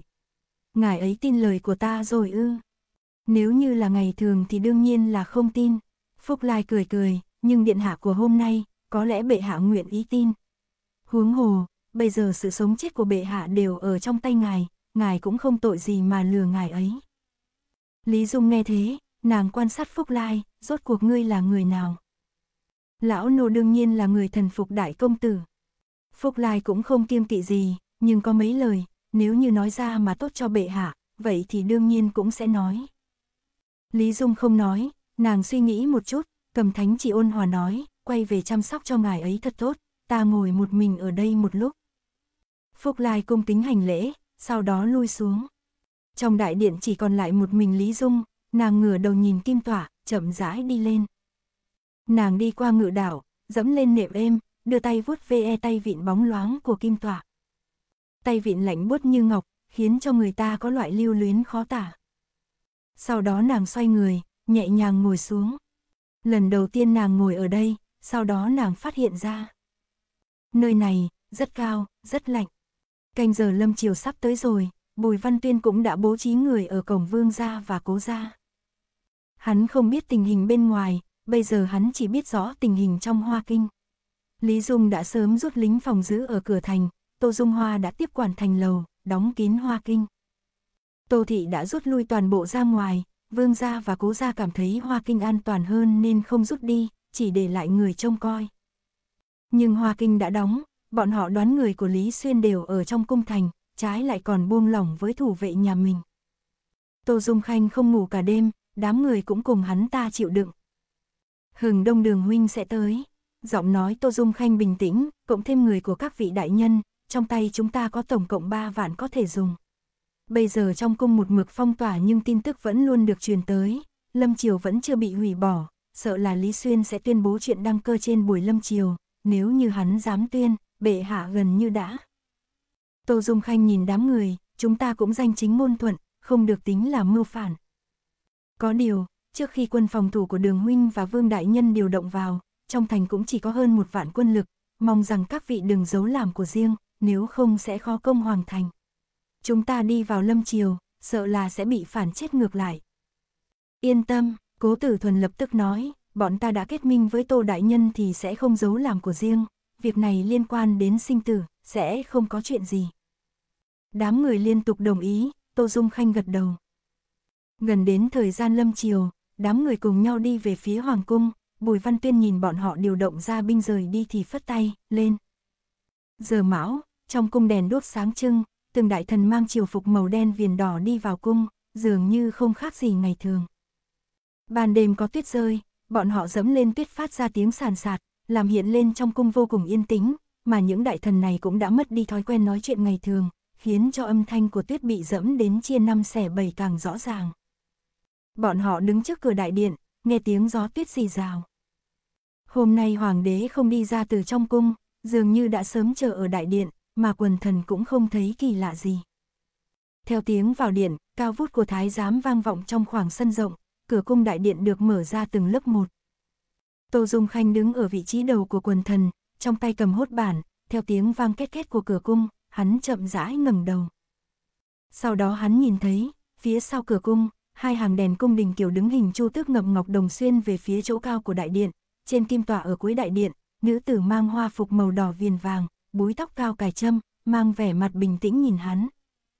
Bọn họ cách toàn bộ đại điện lặng lặng đối mặt, sau một hồi, môi son của Lý Dung khẽ nhếch lên, nàng lạnh lùng lại kiêu ngạo phun ra hai chữ. Quỳ xuống. chương 168, kết cục. Tô Dung Khanh không nói, hắn ngửa đầu nhìn nữ tử ở vị trí ngồi trên cao, người sau lưng hắn thấy khác thường thì đều chạy tới, sau đó thì nhìn thấy Lý Dung ở kim tọa. Hoa nhạc đi theo phía sau kịp phản ứng đầu tiên, nàng ta thấy Lý Dung ngồi trên nơi nào thì không khỏi la hét, Lý Dung ngươi làm gì vậy? Đó là vị trí của Phụ Hoàng, ngươi điên rồi. Phụ Hoàng bệnh nặng, thái tử bị thương chưa lành, đặc biệt lệnh cho bản cung giám quốc, Phúc Lai. Nàng đưa tay, tuyên đọc thánh chỉ. Phúc Lai đáp một tiếng, vâng. Nói xong, ông ấy đưa tay trải rộng thánh chỉ ra, trong một mảng khiếp sợ, ông ấy vững vàng tuyên đọc nội dung trên đó sắc phong Lý Dung làm trưởng công chúa giám quốc. Lúc ông ấy tuyên đọc thánh chỉ, tiếng chém giết bên ngoài càng gần. Tô Dung Khanh vẫn luôn nhìn Lý Dung ở phía trên, Lý Dung không yếu thế chút nào, bình tĩnh nhìn hắn chăm chú. Sau khi thánh chỉ được đọc xong, Phúc Lai cười nhìn đám người, chư vị đại thần, thánh ý đã biểu đạt, vào điện đi. Không có ai nhúc nhích, hoa nhạc nhìn xung quanh, nàng ta muốn tiến lên nhưng lại không biết vì sao mà có mấy phần khiếp sợ, chỉ có thể giật dây những người khác, các ngươi ở đây làm gì. Còn không đi lên bắt nàng ta. Tô Dung Khanh. Lý Dung thấy những người khác lâu không lên tiếng, nàng gọi tên Tô Dung Khanh vào điện. Tô Dung Khanh nghe được lời của Lý Dung thì vén vạt áo lên, cất bước đi vào đại điện. Hoa nhạc đang muốn lên tiếng thì cố tử đạo bên cạnh bèn nhắc nhở, điện hạ, an tâm chớ vội. Cố tử đạo là lễ bộ thượng thư, nguyên lão ở nơi này, cho dù là người vô tri như hoa nhạc thì cũng biết phải tôn kính mấy phần. Tất cả mọi người nhìn tình huống, chỉ thấy Tô Dung Khanh tiến lên, dừng ở trước bậc thang không đủ ba trượng, Lý Dung thấy hắn đứng thẳng không quỳ thì khẽ nâng cầm lên, vào điện không quỳ, ngươi là loạn thần tặc tử ư. Đêm qua cung biến, không thấy thiên tử, thần không dám quỳ. Vì sao không dám? Sợ quỳ sai phản tặc, có nhục với thiên tôn. Người tập trung lực lượng ở bên ngoài, người không là tặc thì còn có ai dám xưng là tặc. Thái tử Lý Xuyên, Tô Dung Khanh nâng cao giọng, điện hạ, đêm qua thái tử công thành, che giấu điện hạ, bắt cóc thánh thượng. Vì thần vì cứu giá mà đến, còn xin điện hạ chớ buồn. Người đâu, Tô Dung Khanh vung tay lên, bình nhạc điện hạ kinh hãi, dẫn điện hạ xuống dưới tĩnh dưỡng. Làm càn. Lý Dung quát chói tai, trong đại điện, binh sĩ lít nha lít nhít lập tức bày ở phía trước hướng về triều thần. Lý Dung nhìn chằm chằm đám người, đêm qua thái tử hoàn toàn chưa từng vào cung, bệ hạ bây giờ thánh giá mạnh khỏe, các người cưỡng ép công thành chính là tội mưu phản, còn không lui xuống nhận tội. Lý Dung nói mấy câu, sắc mặt đám người thay đổi lớn. Tiêu Cản quay đầu nhìn Nhu Phi một cái, Nhu Phi nhíu mày. Tô Dung Khanh bắt lấy điểm mấu chốt, chỉ hỏi thái tử không ở trong cung. Đêm qua thái tử ra khỏi thành dưỡng thương, Lý Dung nhìn đám người có chút hoảng loạn, giọng điệu vững vàng, cho nên, bản cung đại diện giám quốc. Chư vị đại thần, mưu hại thánh thượng chính là tội chết xét nhà diệt tộc, tội này hôm nay không hỏi thì cuối cùng có một ngày cũng sẽ hỏi, dù gì, để tiếng xấu muôn đời dưới ngòi bút của sử quan, chắc hẳn các vị đại nhân cũng không muốn như vậy. Lý Dung khiến đám người có chút do dự, bọn họ vốn cho rằng Lý Xuyên bây giờ đã giết Lý Minh rồi, cứ như vậy, bọn họ có thể danh chính ngôn thuận giết Lý Xuyên. Nhưng hôm nay Lý Xuyên không ở trong cung, hoàng đế thậm chí còn sống, hành vi công thành của bọn họ liền lộ ra mấy phần hoang đường buồn cười. Mưu sát thiên tử, tội như vậy, lúc quyền thế ngập trời vẫn sẽ có người chất vấn, nếu có một ngày quyền thế không theo kịp thì sẽ là mầm tai họa xét ra diệt tộc. Thiên tử ở trong lòng những thế gia trăm năm này có lẽ không được tính là gì nhưng bọn họ cũng không dám trắng trợn đánh phạt như thế. Hoa nhạc thấy những người này do dự thì nhất thời có chút luống cuống, nàng ta không khỏi kéo tay áo Nhu Phi, Nhu Phi cúi đầu trầm tư, trong lúc đám người lưỡng lự, giọng nói của Tô Dung Khanh vang lên, ta muốn nói chuyện với Bình Nhạc Điện Hạ, không biết các vị có thể tạo điều kiện hay không. Lời đề nghị bất chợt của Tô Dung Khanh khiến đám người hơi kinh ngạc, Nhu Phi ngẩng đầu lên, mắt lộ ra ánh sáng lạnh, lúc mọi người do dự, Nhu Phi mở miệng cười khẽ, nếu Tô Đại Nhân có việc muốn trao đổi với Bình Nhạc thì chúng ta cũng không quấy rầy nữa. Chư vị, Nhu Phi quay đầu nhìn về phía đám người, chúng ta cùng nhau kính cẩn chờ đợi ở bên ngoài đi. Nói xong Nhu Phi liền lôi kéo Lý Thành, chủ động cất bước, dẫn đám người tiêu càn cùng đi ra ngoài. Những người khác nhìn nhau một lát rồi cũng đi theo ra khỏi đại điện. Lý Dung nhìn người của Tô Dung Khanh đều lui ra bên ngoài điện, Tô Dung Khanh ngửa đầu nhìn nàng, điện hạ. Điện hạ, Phúc Lai quay đầu nhìn về phía Lý Dung, Tô Dung Khanh dù sao cũng là nam tử, lỡ như tồn tại lòng mưu hại đối với điện hạ. Lui ra đi.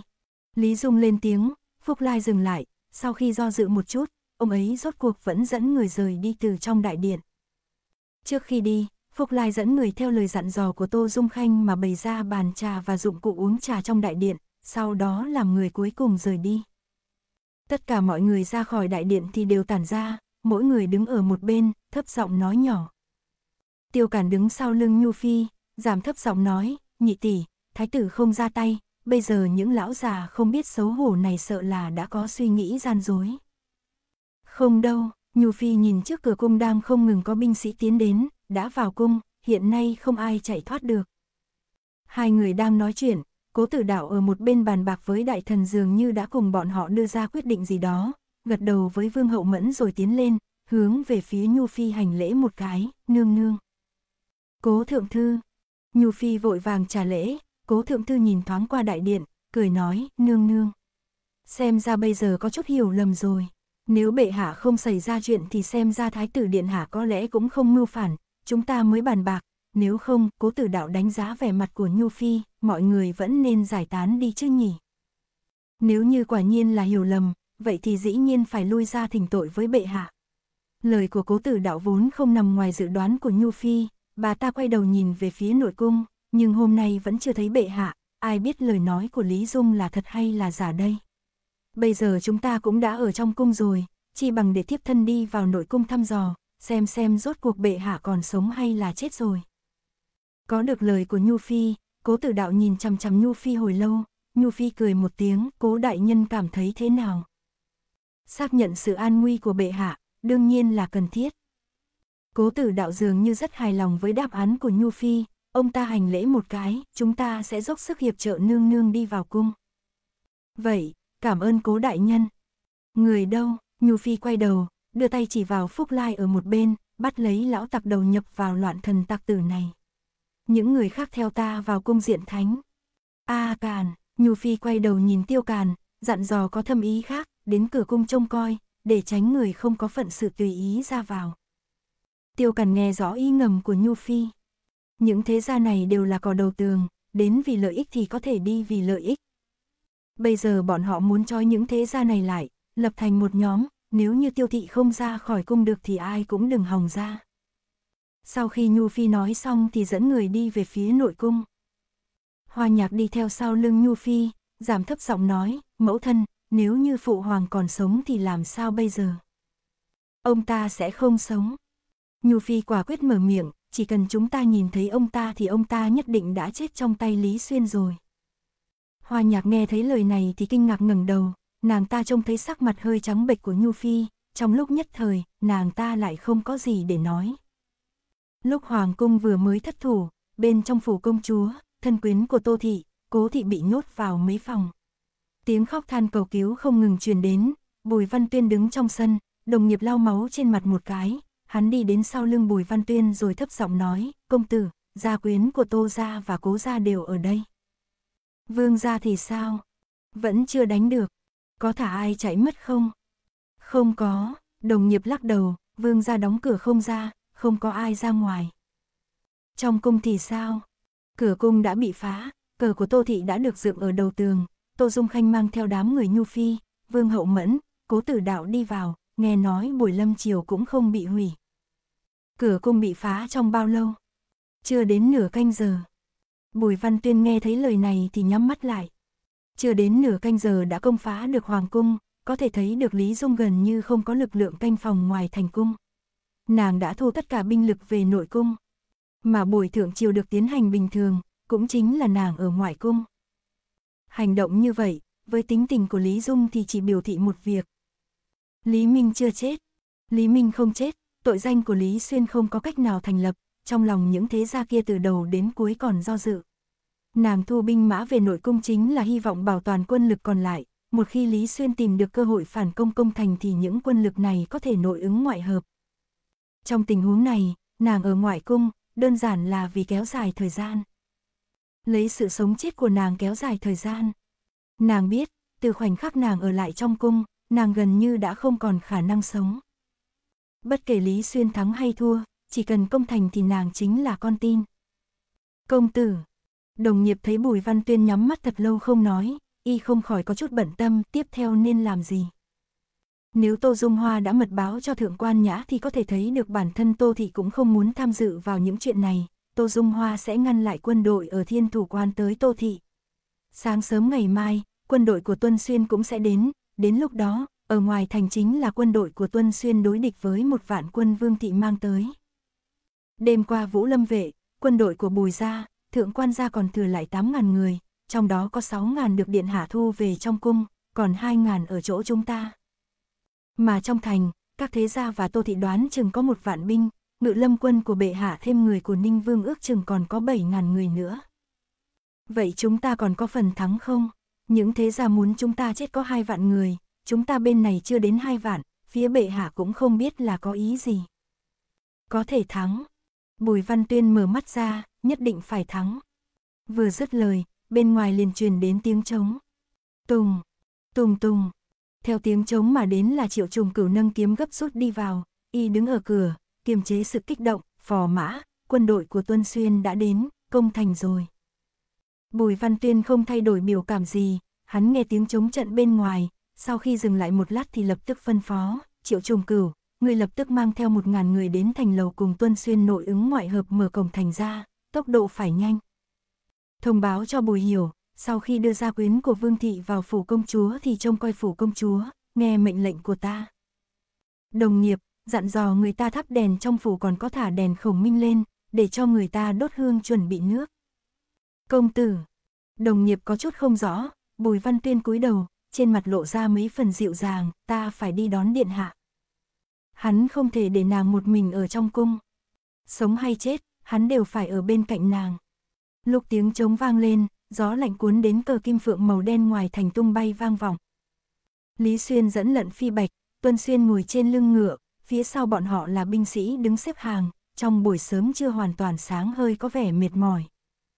Bây giờ phải vào thành sao? Lận phi bạch nhìn về phía trước nhíu mày, những binh lính này bôn ba ngàn dặm mà đến, rõ ràng là đã cực kỳ mệt mỏi. Bây giờ không vào thành, thượng quan nhã đứng trên chiến xa, phóng tầm mắt nhìn về tường cao phía trước, chờ đến hừng đông, quân của vương gia dẫn người tiến đến, muốn công thành nữa thì khó. Chỉ bằng lúc này đánh hạ thành trì, lấy thủ chờ công.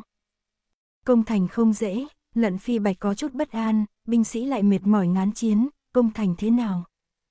Sắp rồi, Lý Xuyên nhìn Hoa Kinh, vẻ mặt mang theo sự lạnh lẽo.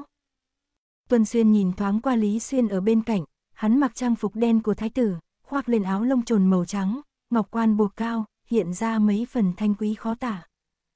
Hắn đã cao hơn rất nhiều, mang theo vài phần mảnh khảnh của văn thần, ánh mắt khô lạnh, hoàn toàn không nhìn thấy dáng vẻ thiếu niên hoạt bát của lúc trước.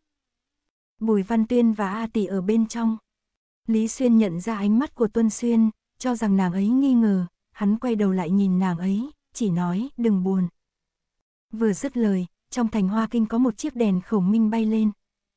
Đèn khổng minh ở trên bầu trời chưa sáng lập tức hấp dẫn sự chú ý của rất nhiều người.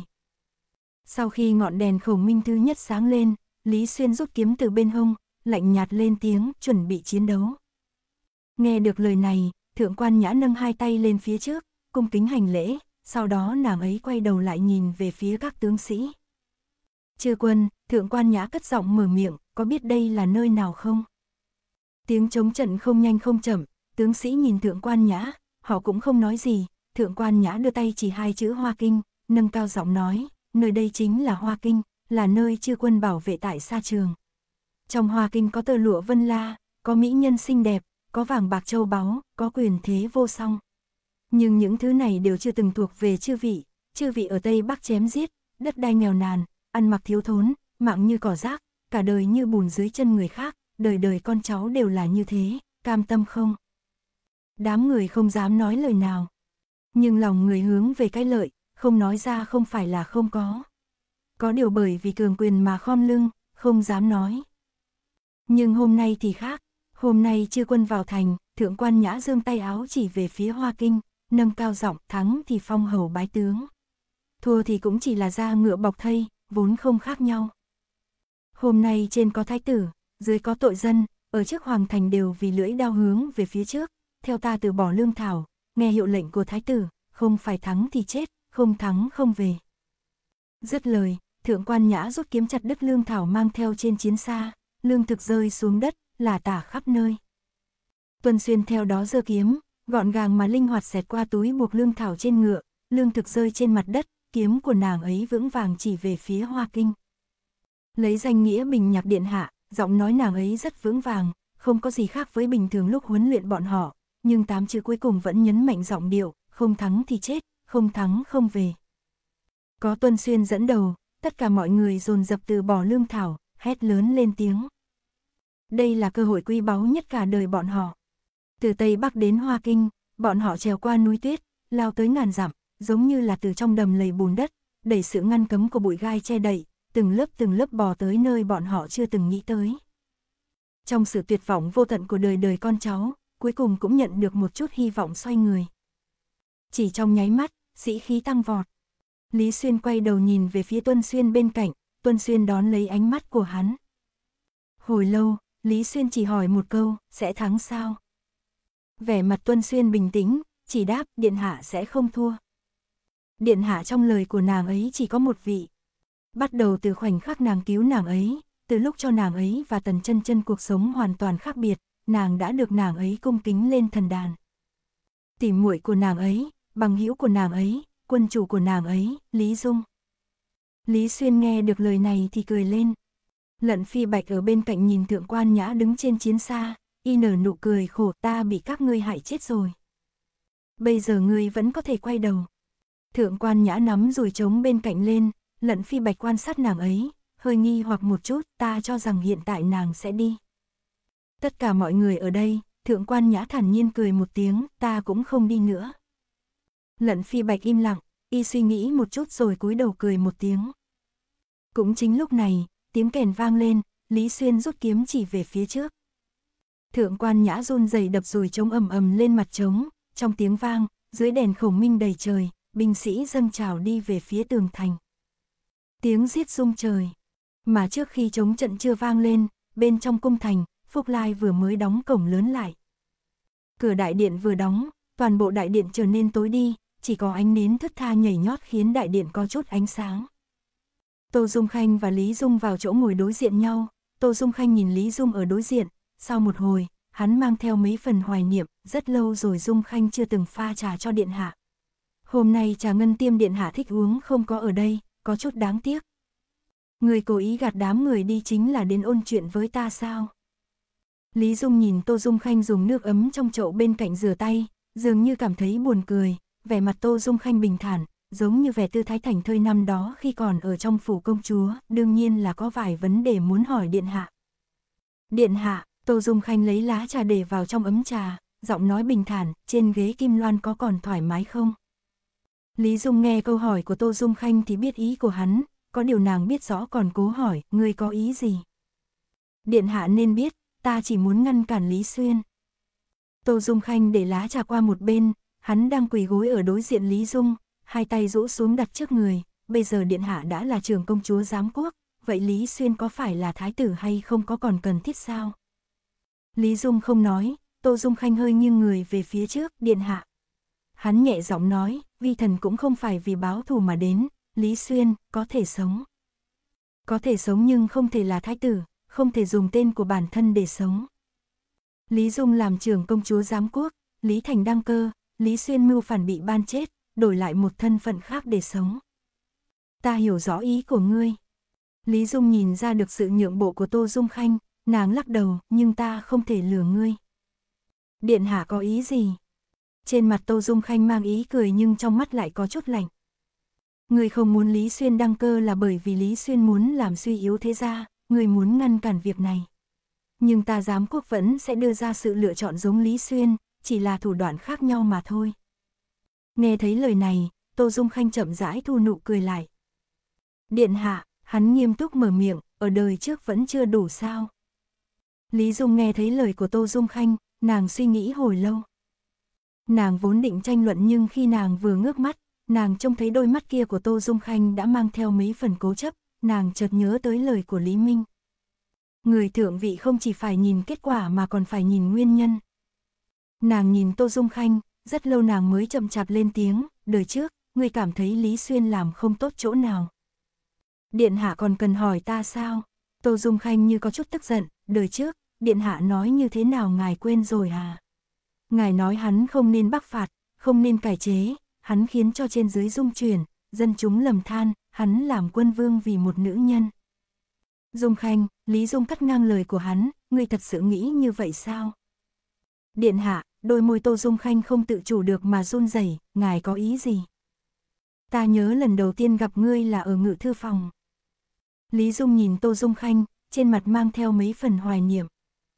Khi đó ngươi đi theo Tô tướng quân quỳ gối ở cửa ngự thư phòng, khuyên căn phụ hoàng bắc phạt, ngươi nói cho ta biết, người Tô gia sinh ra vì bách tính, chết đi vì xã tắc.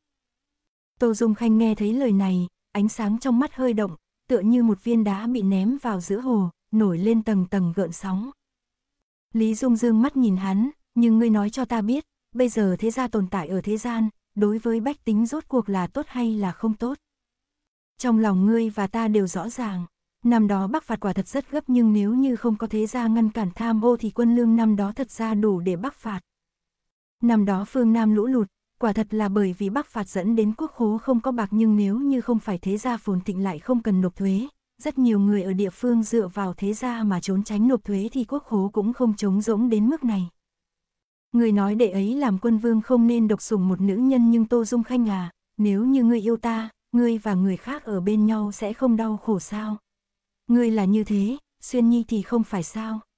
Nhưng hắn là quân vương, đau khổ cũng phải chịu được. Tô Dung Khanh cố chấp mở miệng. Vậy thì cũng phải chịu cho có ý nghĩa. Lý Dung cười khẽ, hôn nhân của quân vương có liên quan gì đến triều đình. Quân chủ làm chủ Giang Sơn xã tắc, đệ ấy chuyên cần chính sự, đệ ấy thương dân, vậy đệ ấy yêu ai, đệ ấy cưới một nữ nhân hay cưới mấy nữ nhân thì liên quan gì đến thiên hạ. Sở dĩ có liên quan, chẳng lẽ không phải bởi vì thế ra tranh đấu, đặt tranh chấp ở hậu cung sao? Thứ đệ ấy nhẫn nại lấy lòng chính là thế gia, không phải là bách tính, có ý nghĩa không? Dựa theo ý điện hạ nói, Tô Dung Khanh chào phúng mở miệng, đều là thế gia sai, đúng không? Nhưng người tham ô mục nát, thế gia có, hàn tộc của hắn thì không có sao. Người bè cánh tranh đấu, thế gia có, hàn tộc thì không có sao. Đây vốn chính là xu thế của con người, có liên quan gì đến thế gia.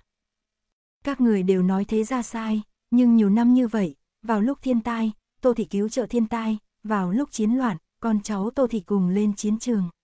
Lòng Tô Thị hướng về bách tính, làm gì sai? Ngài nói hậu cung bè cánh tranh đấu, Lý Xuyên không sai vậy thì thượng quan nhã sai sao? Đại ca ta sai rồi sao? Bọn họ bị hủy cả đời đưa vào trong cung, Lý Xuyên vì sự ích kỷ của bản thân mà đối xử với bọn họ như vậy, dựa vào cái gì mà Lý Xuyên có thể tùy hứng, bọn họ cũng chỉ có thể cả một đời tuyệt vọng sống qua ngày, cũng bởi vì bọn họ không phải là thiên tử sao. Nếu thế gia có tội, Tô Dung Khanh nhìn chằm chằm Lý Dung, thiên gia hoàng tộc không có tội sao? Vậy, ai đưa thượng quan nhã vào cung? Lý Dung nhìn Tô Dung Khanh, Tô Dung Khanh không đáp lời, Lý Dung cúi đầu cười cười, Dung Khanh, thật ra rất nhiều chuyện trong lòng ngươi rõ ràng. Chỉ là ngươi không có cách nào thừa nhận, ngươi và ta sinh ra là có tội. Nào có cái gì mà sinh ra là có tội, thiện hay ác, là tội hay phạt, lúc ấy người đó đã làm gì? Tô thị ta, trăm năm danh môn. Chính là cái trăm năm danh môn này, Lý Dung cắt ngang lời hắn, là dựa vào cái gì? Tô Dung Khanh dừng lên tiếng, Lý Dung có chút thương xót nhìn hắn. Dung Khanh, ta hiểu rõ sự cố chấp của ngươi. Lòng hướng về ánh sáng nhưng thân lại đen tối, ngươi không thừa nhận được thân phận của mình, chỉ có thể đổi trắng thay đen. Người tuổi nhỏ không hiểu thì còn có thể che giấu, càng tỉnh táo hiểu rõ thì càng tự ghét mình. Điện hạ, Tô Dung Khanh lên tiếng cắt ngang lời nàng, hắn tựa như đã bị người ta chạm đến chỗ đau đớn nhất trong lòng, hắn hơi nghiêng người về phía trước, tựa như nắm lấy tay áo, nhìn dáng vẻ của Lý Dung, trong mắt đều là sự khẩn cầu.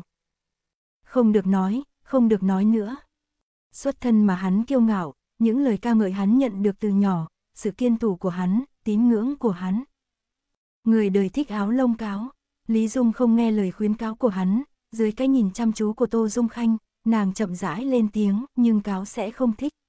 Nếu như cho cáo một chút đồ ăn đã tự khoác lác là nghĩ cho nó, đó là nói dối. Cho dù Tô Thị ngươi thật sự vì bách tính, vì xã tắc, cho dù ngươi thật sự muốn thay đổi kết cục đời trước thì việc ngươi cần làm không phải là giết Lý Xuyên, ngăn cản Lý Xuyên đăng cơ mà là đứng cùng với đệ ấy, chống lại những thứ vốn đã sai. Nhưng thế gia vọng tộc khổng lồ, nếu như tùy tiện thay đổi. Vậy thì cứ không động vào sao? Lý Dung cười lên, ngươi và ta không cần lừa mình dối người, nếu như là việc sai thì mãi mãi sẽ có người chống lại. Thế gia vọng tộc khổng lồ hơn nữa nhưng nó sai thì sẽ có vô số Lý Xuyên, Bùi Văn Tuyên, Tần Lâm che giả mang mọc chiến đấu chống lại. Cuối cùng có một ngày nó sẽ biến mất, mà chúng ta ở đời này, không thể làm bậy, cũng không thể không làm. Có thể Lý Xuyên không phải là thái tử nhưng ta cũng sẽ không lừa ngươi nói nếu như ta thượng vị thì sẽ hứa hẹn bao nhiêu lợi ích cho thế gia. Cả đời này của ta, đôi mắt Lý Dung phản chiếu ánh nến, quang ảnh thất tha, hiến dâng cho đạo nghĩa của ta. Ta nguyện quân tìm sơ tâm, Lý Dung nhìn chăm chú hắn, mãi là Tô Lang. Tô Dung Khanh sướng sờ nhìn Lý Dung, nước sôi bốc lên phát ra tiếng vang bén nhọn. Điện hạ, Tô Dung Khanh cuống quýt hoàn hồn, khàn giọng mở miệng, ta không quay đầu lại được nữa. Hắn đã sớm mang tất cả mọi người lên chiếc thuyền mưu phản này, bất kể tiến hay lùi thì không ai đi được. Ta đã không còn gì nữa. Tô Dung Khanh nở nụ cười khổ, ta không thể quay đầu nữa. Hắn đã vì chuyện này mà vứt bỏ tất cả, lại bảo hắn nhận lỗi, làm sao hắn chịu nổi. Lý Dung suy nghĩ một chút rồi cúi đầu cười khẽ, vậy thì không nói những chuyện này nữa. Uống trà một lần cuối cùng, để ta pha cho ngươi một lần. Lý Dung nói xong, nàng lấy ấm nước trên lò lửa, rót nước vào ấm. Nàng cụ ô mắt, trong mắt là sự dịu dàng bình thản mà hắn chưa từng thấy. Giống như một miếng ngọc thô do năm tháng mài rũa, dưới ánh mặt trời chảy xuôi ánh sáng trong trẻo trơn bóng. Trong đại điện là tiếng pha trà róc rách, ngoài đại điện là tiếng chém giết rung trời. Sau khi hơi nước bốc lên, nữ tử giống như bức tranh mãi mãi không biến sắc. Sự ngượng ngùng lúc mới gặp khi 12 tuổi, sự động lòng từ xa xa nhìn ngắm vào kỳ kiểm tra hàng năm, sự bi thương lúc nghe nói nàng đính hôn, sự đau khổ khi đi theo đám người bôn ba cả quãng đường hôm nàng thành thân.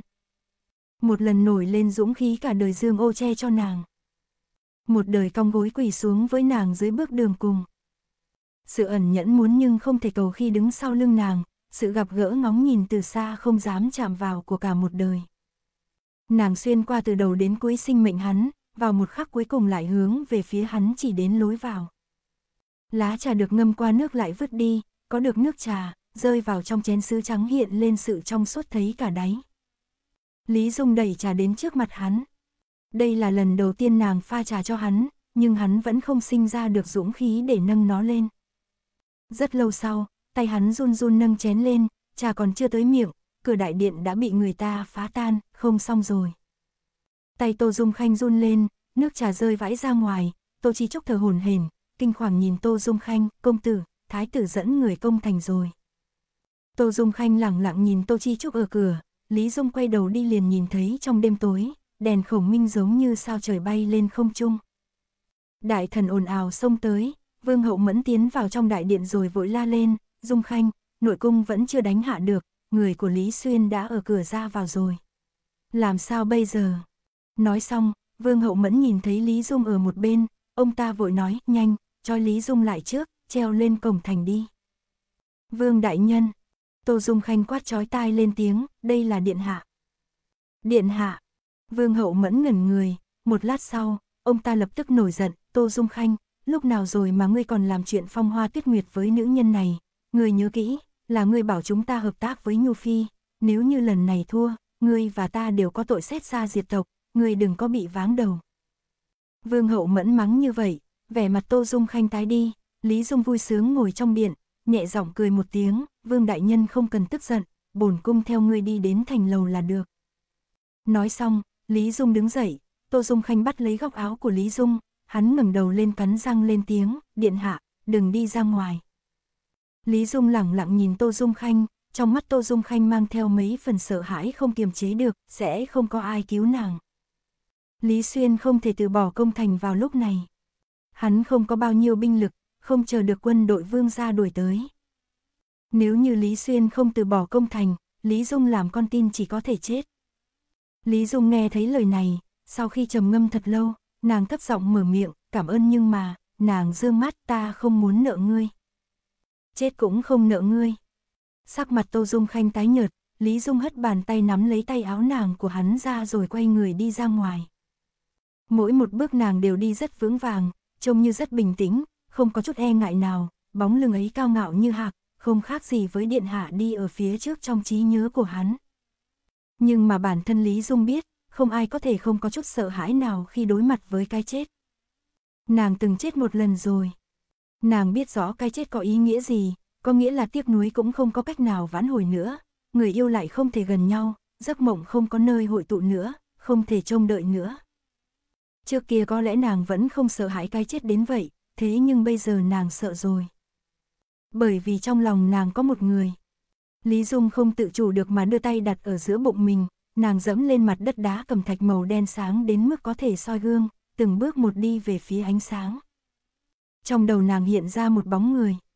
Nàng biết người này không có khả năng xuất hiện, hắn đã ở bên ngoài Hoa Kinh, hẳn là hắn rất an toàn, có lẽ hắn sẽ còn ở cùng với Lý Xuyên, ở dưới cổng thành chờ nàng.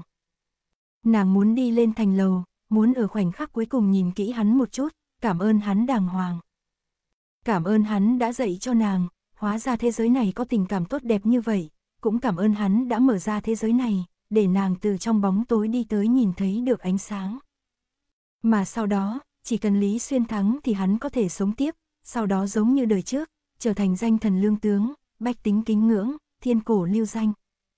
Lý Dung mỉm cười đi về phía trước, cũng chính lúc này, trước cửa cung hoàng thành có một thanh niên mặc áo trắng đội ngọc quan, đeo kiếm đứng đó. Binh sĩ dồn dập sông lên, dùng thương vây quanh công tử Tuấn Nhã này. Nhưng mà công tử ung dung không vội, hắn dương mắt nhìn về phía bóng dáng nữ tử mơ hồ xuất hiện ở đại điện kia. Trên mặt hắn mang ý cười, ánh mắt không rời, thỉnh cầu thông báo, Bùi Văn Tuyên cầu kiến Bình Nhạc Điện Hạ. Nếu như không cho phép thì còn xin hỏi ba vị Tô Thị Lang, Cố Thượng Thư, Vương Thị Lang, còn nhớ người trong nhà không? Nghe được lời này, trên mặt đám người cả kinh, Bùi Văn Tuyên không quan tâm mà trực tiếp vào thành. Cửa cung đã bị trụ đụng thành đánh vỡ, tất cả đều sững sờ nhìn hắn, mà Lý Dung vừa mới bước ra khỏi đại điện đã nhìn thấy một bóng dáng áo trắng từ hướng cửa cung chậm rãi mà tới. Nàng không khỏi dừng bước chân, sững sờ nhìn hắn. Tuyết động cả đêm chưa tan, tuyết trắng bao trùm lấy màu máu và sự hỗn loạn đêm qua, phảng phất như một bức tranh giấy trắng, trải lên trên mặt đất bằng. Mà công tử mặc áo trắng đội ngọc quan một mình đi trên đất tuyết minh mông, giống như thần tuyết dáng thế, trong sự sạch sẽ mang theo mấy phần khắc nghiệt. Xung quanh là vô số binh sĩ dương cung mà đứng, chuẩn bị bắn giết người này bất cứ lúc nào, nhưng mà công tử giống như nhàn nhã đi dạo, thong dong phong lưu. Bên ngoài hoa kinh, vô số binh sĩ dựng thang mây trèo lên tường, binh sĩ trong thành chém giết một mảng, triệu trùng cửu chém giết binh sĩ bên cạnh trông coi chốt mở cổng thành, hung hăng chém một kiếm lên sợi dây. Cửa thành trong nháy mắt đổ xuống, rơi vào sông hộ thành ở đối diện, binh sĩ như che giả măng mọc sung phong liều chết tiến vào, âm thanh rung trời. Mà trong nội cung, Nhu Phi nhìn tầm cung cách chưa tới 10 trượng cùng với binh sĩ lít nha lít nhít, bà ta nắm thật chặt nắm đấm. Hoa nhạc bên cạnh ra sức cao giọng giống, xông lên. Giết qua, nhanh giết qua. Lý Minh ngồi trên giường, ngẩng đầu nhìn hoa văn hình rồng trên đầu giường, nghe nữ nhi ở bên ngoài gào thét, ông ta cười chào phúng rồi chậm rãi nhắm mắt lại. Những vệt máu tươi, sự bừa bãi, tiếng kêu R3N và chào phúng này đều không nhiễm công tử nửa phần, hắn đi nhanh một đường đến trước đại điện, cất bước đi lên bậc thang.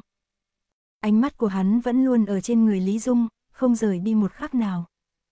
Lý Dung không tự chủ được mà thẳng lưng lên, hai tay nàng bảo vệ giữa bụng, cũng không biết vì sao, khi người đó càng ngày càng gần, mắt nàng lại càng ngày càng mơ hồ. Nàng cảm thấy lòng mình giống như được cái gì đó từng chút một lấp đầy. Tựa như ông trời đột nhiên một mạch nhét thứ gì đó mà nàng vẫn luôn mất đi vào trong lòng nàng. Nàng không bị vứt bỏ. Nàng không một mình.